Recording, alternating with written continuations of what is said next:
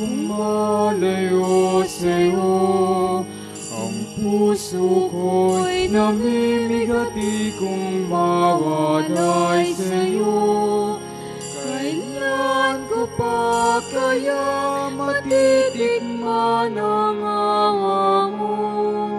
Kailan tatamuhin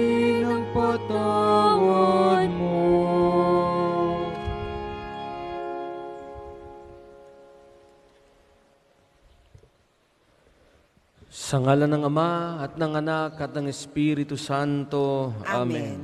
Sumainyo ang Panginoon. At sumaiyo rin. Mga kapatid, aminin natin ang ating mga kasalanan upang tayo maging marapat gumanap sa banal na pagdiriwang.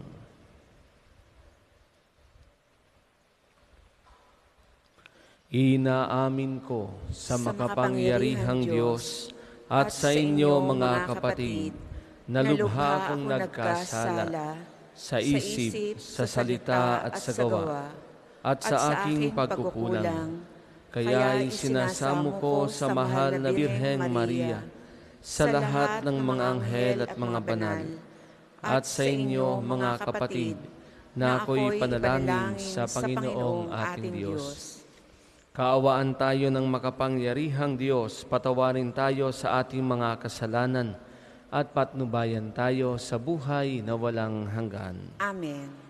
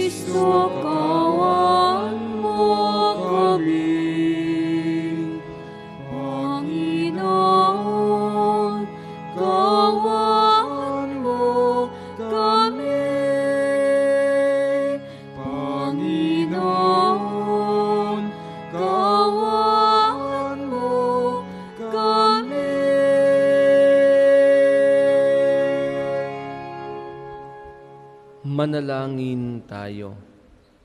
Ama naming makapangyarihan, ipagkaloob mo ang aming magampanan ang pagsasak kasalukuyan ng pagpapakasakit ng aming poong mahal, upang kami pagindapating magkamit ng ibinungan nitong kapatawaran sa pamamagitan ni Hesu Kristo, kasama ng Espiritu Santo, magpasawalang hanggan. Amen.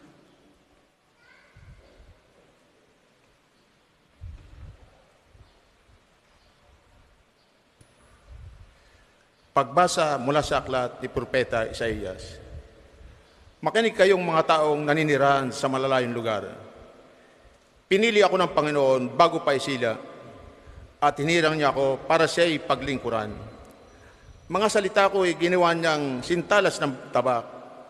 Siya ang sa akin laging nag-iingat. Ginawa niya akong parang matulis na palaso na anumang oras ay handang itudla Sinabi niya sa akin, Israel, ikaw ay lingkod ko. Sa pamagitan mo, ako'y dadakilain ng mga tao. Ngunit ang tugong ko, ako ay nabigo sa aking pagsisikap.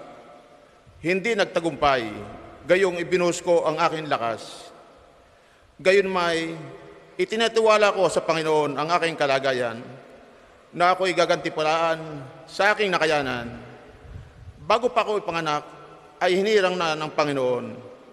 Pinilihan niya ako para maging lingkod niya upang tipunin ang mga nangalat ng mga Israelita at sila ibalik sa bayang Israel.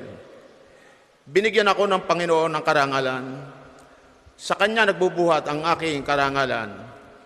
Sinabi ng Panginoon sa akin, Israel na aking lingkod, may mas mahalaga pa akong ipapagawa sa iyo.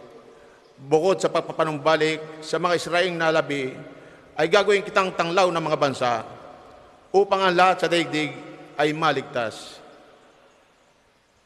Ang salita ng Diyos. Salamat sa Diyos, salmong tugunan, patuloy kong isasaysay ang dulot mong kaligtasan. Patuloy kong isasaysay ang dulot mong kaligtasan. Sa iyo lang, Panginoon, lubos akong nananalig. Huwag mo kong pabayaang mapahiya at malupig. Tulungan mo ko ngayong yamang ikaw ay matuwid. Ako sana'y sagipin, sa daing ko ay makinig. Patuloy kong isasaysay ang dulot mong kaligtasan. Ikaw nawa ang buhok ko at ligtas na kakanlungan. Matatag na kublihan ko at matibay sa sanggalang. Sa lahat ng masasama, O Diyos, ako'y paglaban. Sa kukunang mababagsik, huwag mo kong pabayaan. Patuloy kong isasaysay ang dulot mong kaligtasan. Panginoon, sa iyo ko nilagak ang pag-asa. Maliit pang bata ako, sa iyo'y may tiwala na. Sa simula at mula pa, wala akong inaasahang mag-iingat sa sarili, kundi tanging ikaw lamang. Kaya naman ikaw, poon, pupurihin araw-araw. Patuloy kong isasaysay ang dulot mong kaligtasan. Pagkat ikaw ay dakila, patuloy kong isasaysay. Maghapon kong ihahayag, dulot mong kaligtasan. Sa pool sa pagkabata, ako'y iyong tinuruan. Hanggang ngayon, sinasambit ang gawa mong hinangaan. Patuloy kong isasaysay ang dulot mong kaligtasan. Ang lahat po ay magsitayo.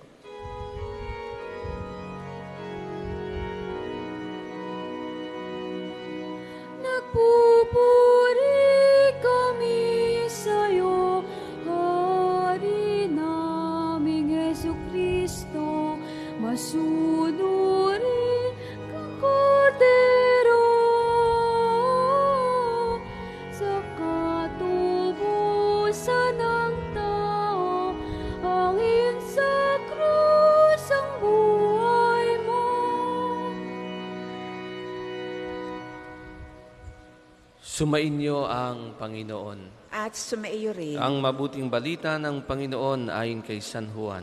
Papuri sa iyo, Panginoon. Noong panahong iyon, habang nakahilig kasama ng kanyang mga alagad, nagugulumihanang sinabi ni Jesus, Tandaan ninyo, ako'y ipagkakanulo ng isa sa inyo. Nagkatinginan ang mga alagad. Hindi nila alam kung sino ang kanyang tinutukoy. Ang alagad na minamahal ni Jesus ay nakahilig sa kalapit niya. Kinalabit siya ni Simon Pedro at sinabi, Itanong mo kung sino ang tinutukoy niya.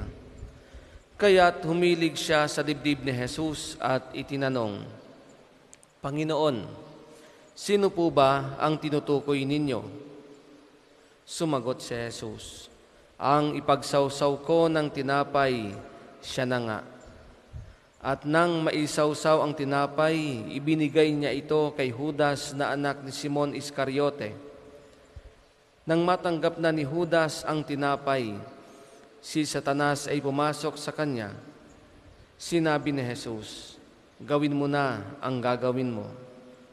Ngunit isa man sa mga kasalo niya ay walang nakaalam kung bakit niya sinabi ito sapagkat si Judas ang nag-iingat ng kanilang salapi, inakala nilang pinabibili siya ni Jesus ng kakailanganin sa pista o kaya'y pinaglilimos sa mga dukha.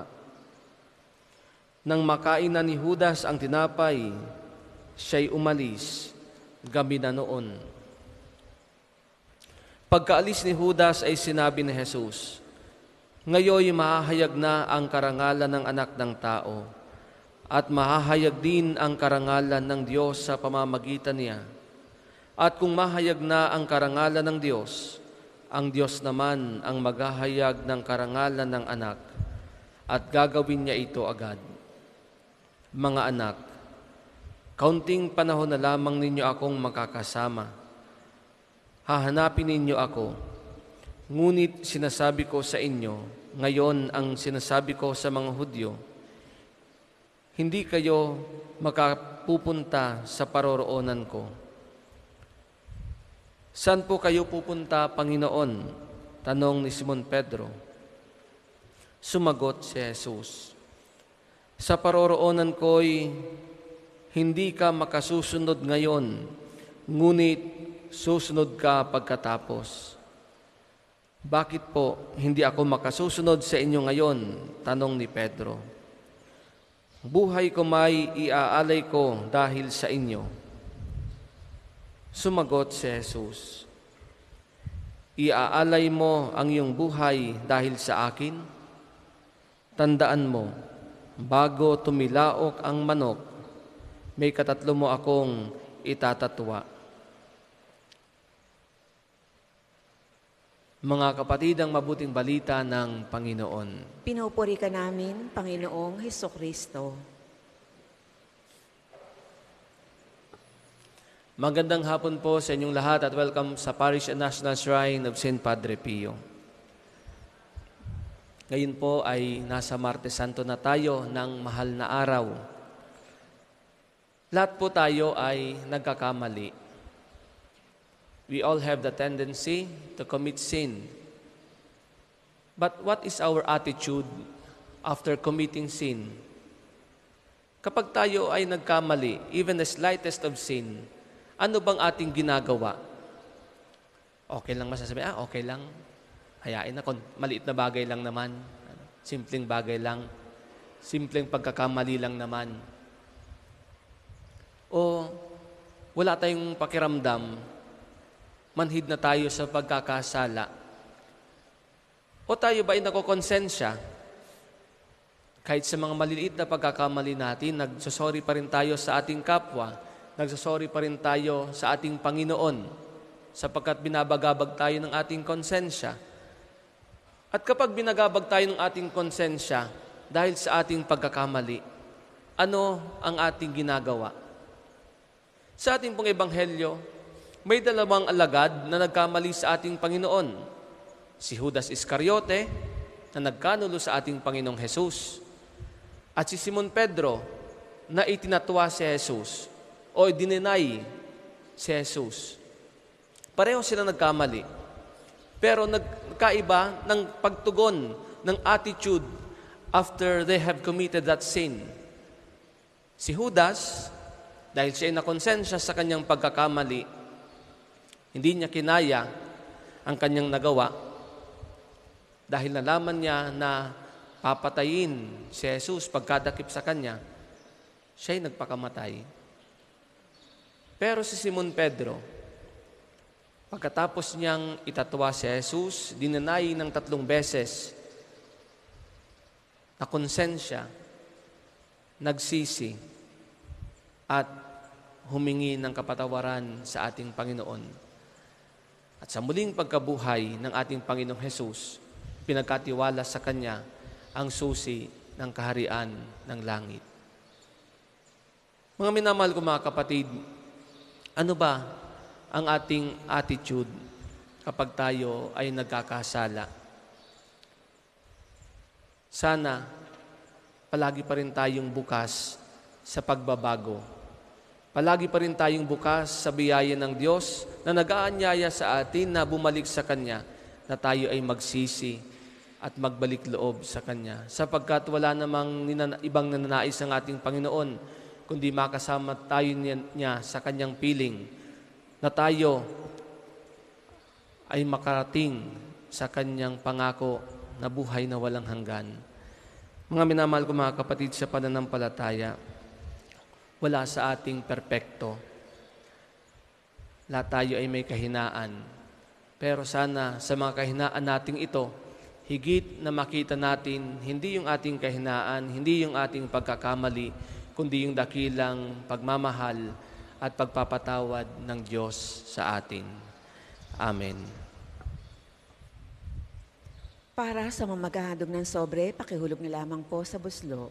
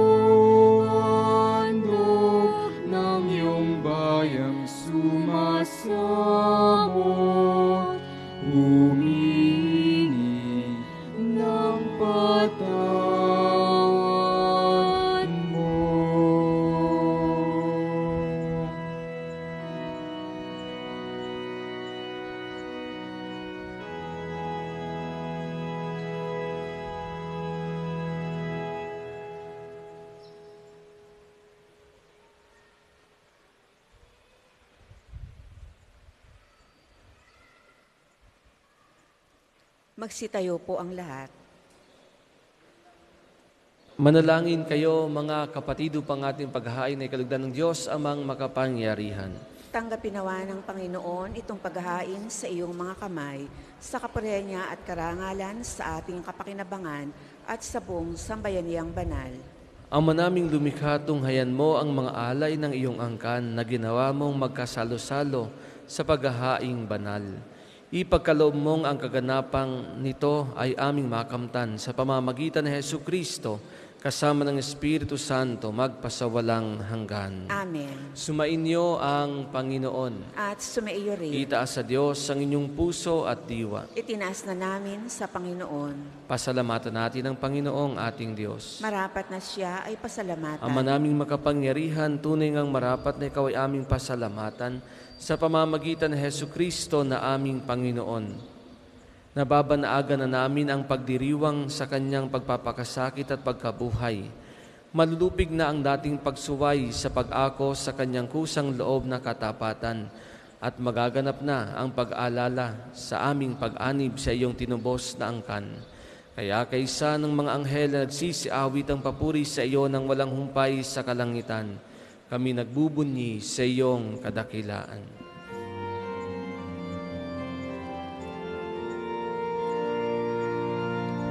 Banal ka po, may kapal, banal ang iyong pangalan, banal ang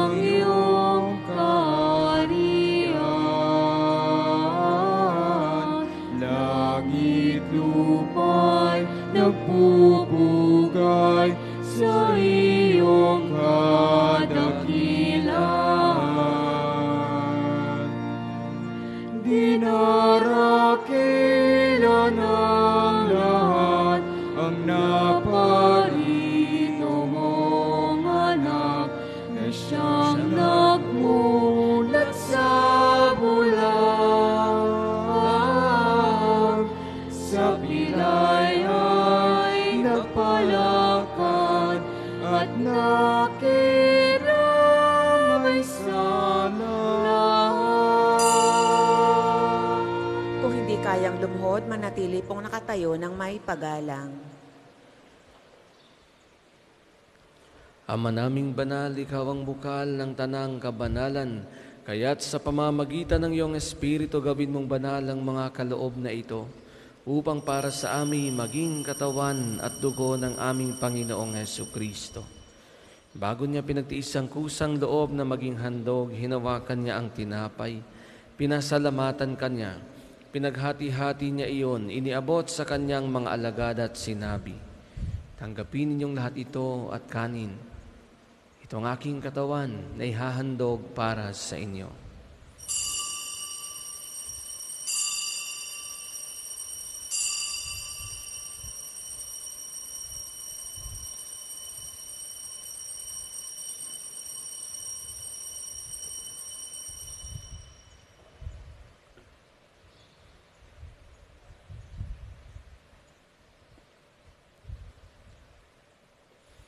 Kaya hindi naman nung matapos ang hapunan, hinawakan niya ang kalis. Muli kanyang pinasalamatan. Iniabot niyang kalis sa kanyang mga alagad at sinabi, Tanggapin ninyong lahat ito at inumin. Ito ang kalis ng aking dugo ng bago at walang hanggang tipan. Ang aking dugo na ibubuhos para sa inyo at para sa lahat sa kapagpapatawad ng mga kasalanan. Gawin ninyo ito sa pag-alala sa akin.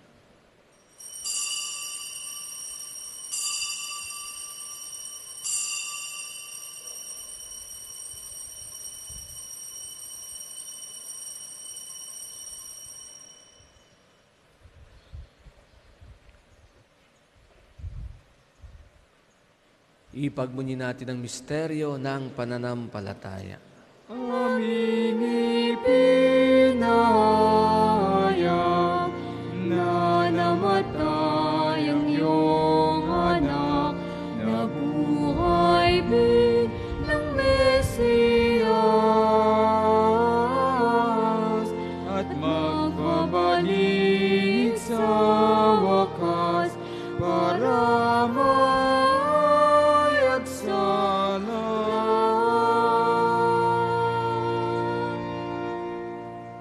Ama, ginagawa namin ngayon ang pag-alala sa pagkamatay at muling pagkabuhay ng iyong anak, kaya't iniaalay namin sa iyo ang tinapay na nagbibigay buhay at ang kalis na nagkakaloob ng kaligtasan.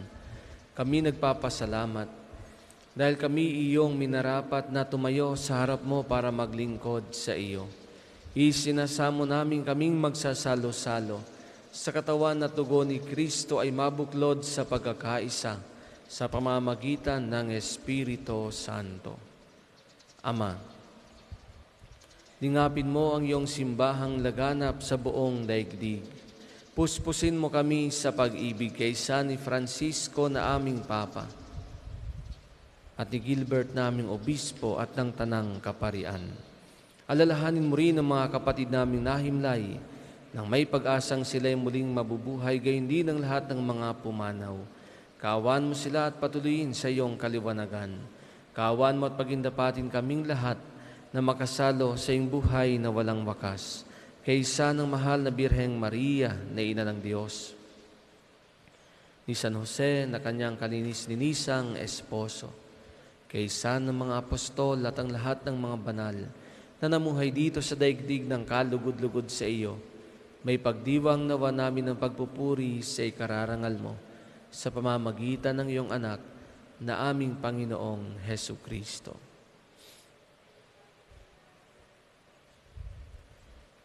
Sa pamamagitan ni Kristo, kasama niya at sa Kanya, ang lahat ng parangal at papuri ay sa iyo, Diyos amang makapangyarihan, kasama ng Espiritu Santo, magpasawalang hanggan. Amen. Amen.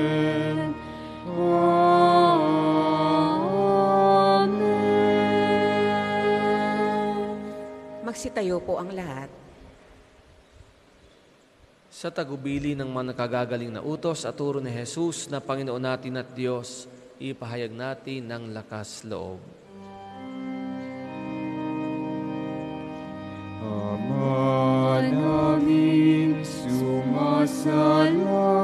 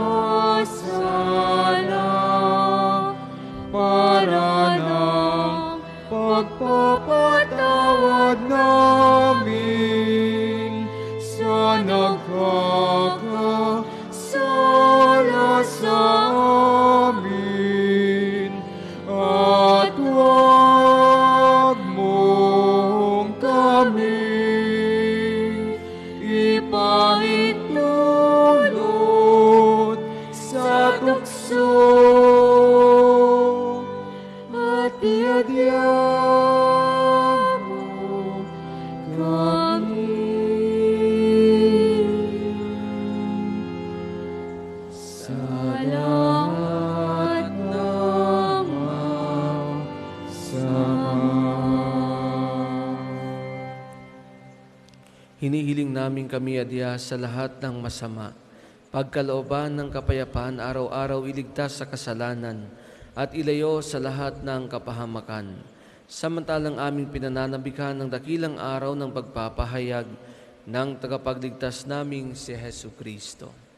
sapagkat iyong kaharian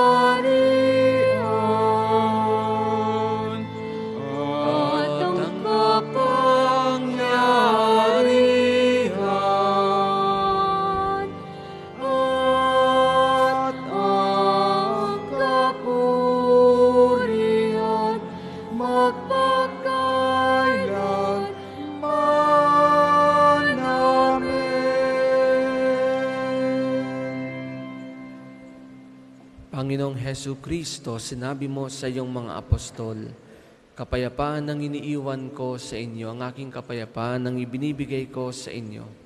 Tunghayan mo ang aming pananampalataya at huwag ang aming mga pagkakasala. Pagkalooban mo kami ng kapayapaan at pagkakaisa ayon sa iyong kalooban.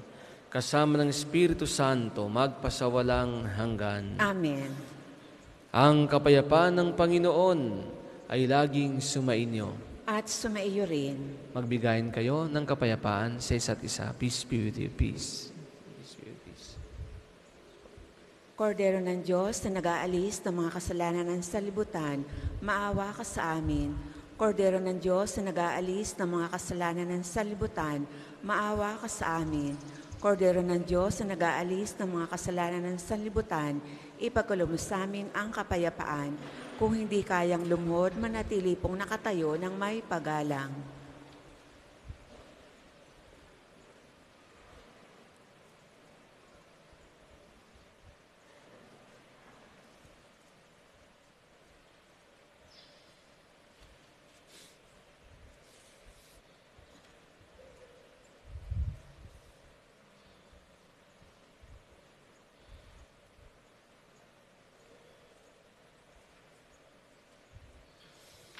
Ito ang kordero ng Diyos, ito ang nag-aalis ng mga kasalanan ng sanlibutan. Mapalad ang mga inaanyayahan sa kanyang piging. Panginoon, hindi ako karapat-dapat na magpatuloy sa iyo, ngunit sa isang salita mo lamang ay gagaling na ako.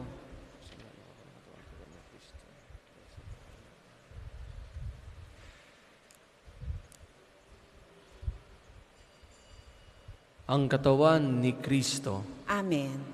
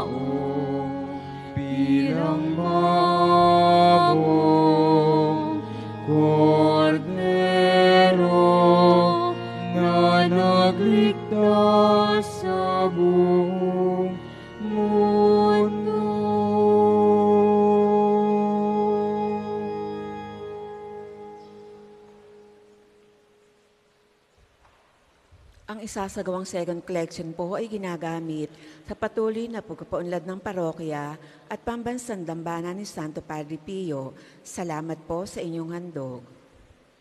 Ito ang anak kong mahal na aking kinalulugdan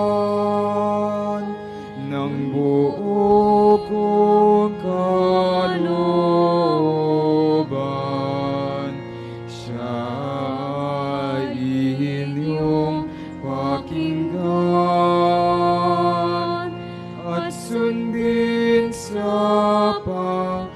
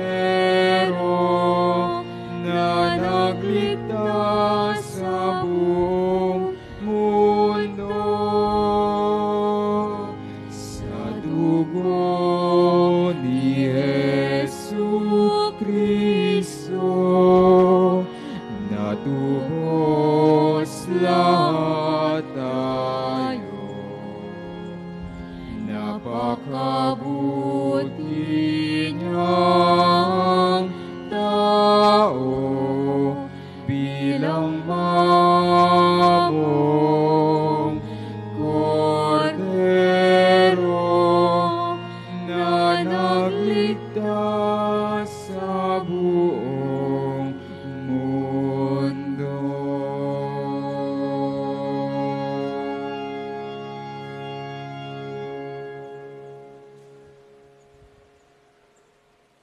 Magsitayo po ang lahat.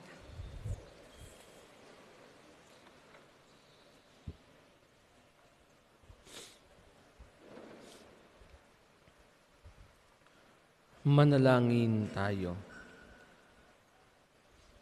Ama naming mapagmahal, kaming mga tumanggap sa banal na pakikinabang ay dumudulog sa iyo at nakikiusap pagbigyan sa kahilingan naming ang piging mong bigay ay maging pagsasalo nawa namin sa iyong walaw mal, wa- walang maliw na buhay sa pamamagitan ni Hesu Kristo kasama ng Espiritu Santo magpasawalang hanggan. Amen. Manalangin ng pagtitiwala kay Santo Padre Pio, tayo pong lahat. Padre Pio, Tagaptitelsina, Mongheng Banal, Pintakasin Santo ng milenyong kasalukuyan, gabay namin sa pagtahak sa landasing makalangit, takbuhan sa pangangailangan, huwaran ng pagtitiis, sa iyo namin inilalapit aming mga kagipitan, sa iyo po ibinibilin kalusugan at kabuhayan.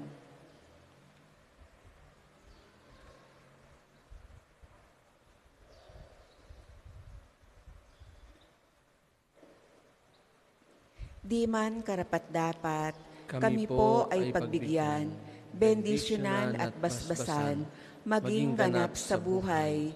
Lumayo nawa kami, umiwas sa kasalanan, lumapit lagi sa Diyos, maging matatag at matibay.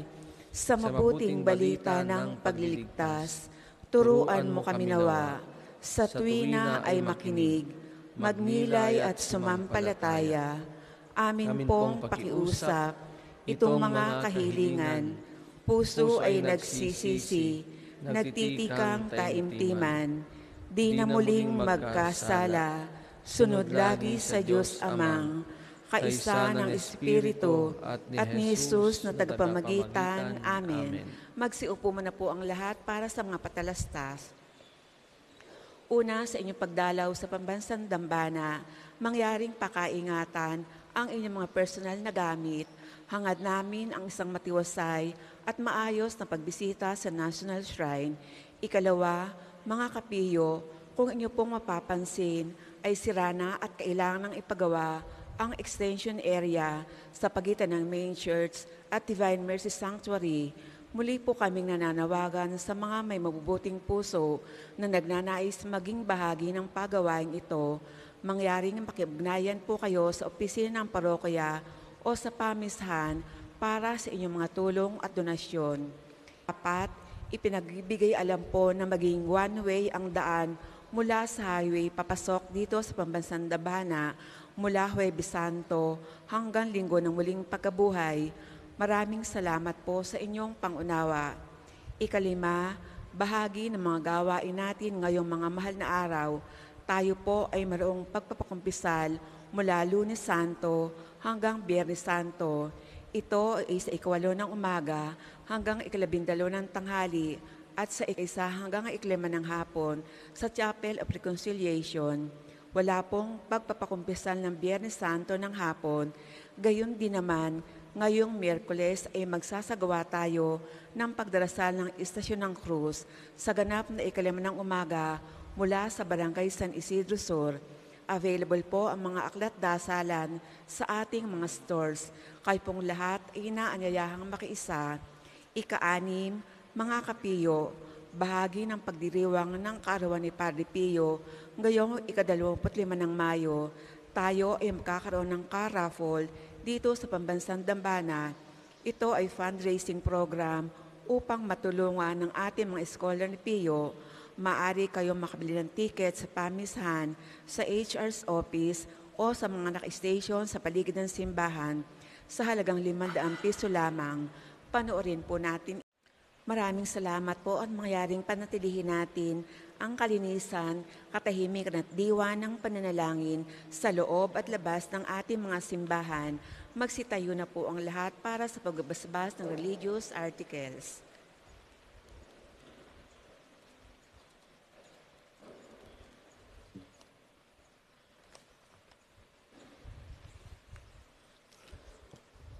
Mga kapatid, manalangin tayo sa Diyos amang makapangyarihan upang tayo ay maging kawangis ni Kristo sa taimtim na pagdalangin sa tulong ng mga larawan at dasalan. O Panginoong Diyos, Ikaw ang buka ng lahat ng pagpapala at biyaya.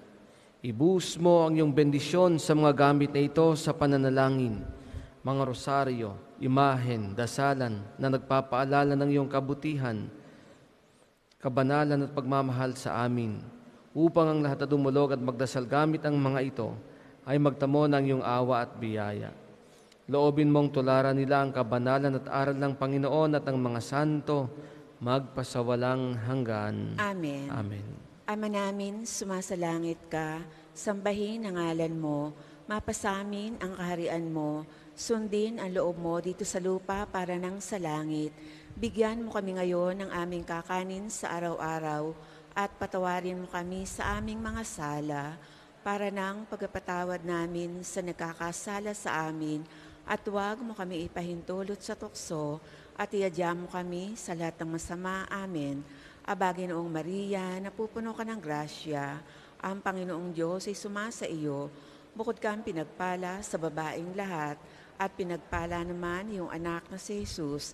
Santa Maria, Ina ng Diyos, ipanalangin mo kaming makasalanan, ngayon at nung kami mamatay. Amen.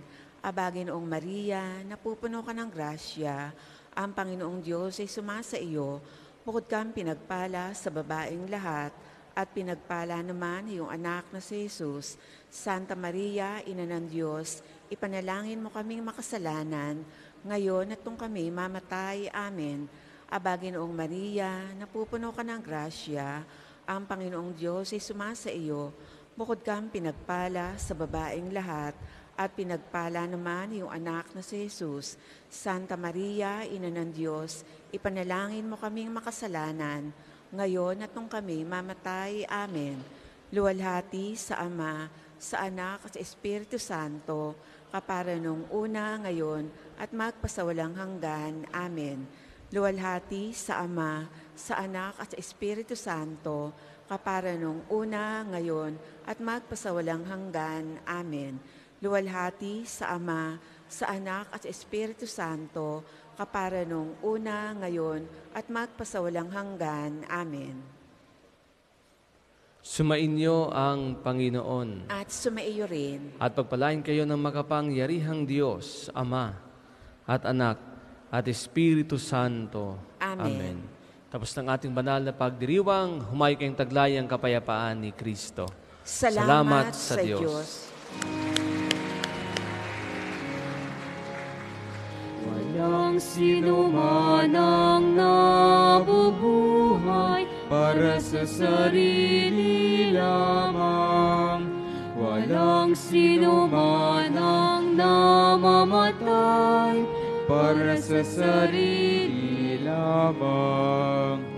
Tayong lahat ay may pananagutan sa isa't isa. Tayong lahat ay tinipon ng Diyos na